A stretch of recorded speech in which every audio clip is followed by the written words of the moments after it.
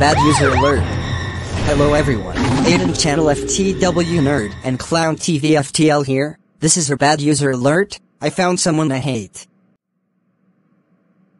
This person is named Nerd and Clown TV FTW Aiden Channel FTL. And this makes me super mad. I will make a grounded video of him soon, so stay tuned. And this is an example of how bad user alerts are like in a nutshell. Stay mad, Gaiden Wombat.